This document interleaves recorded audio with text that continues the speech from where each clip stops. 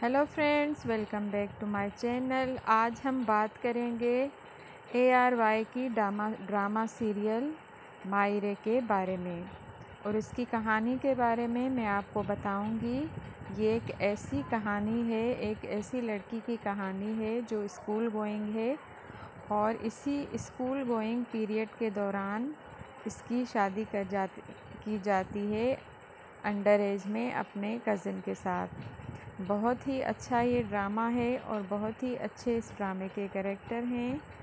तो अगर आपको वीडियो पसंद आए तो मेरे चैनल को सब्सक्राइब करें, वीडियो को लाइक करें, शेयर करें और मेरी अपकमिंग वीडियो पे मैं आपको अपडेट करती रहूँगी इस ड्रामे के बारे में तो इस ड्रामे को ज़रूर देखिएगा।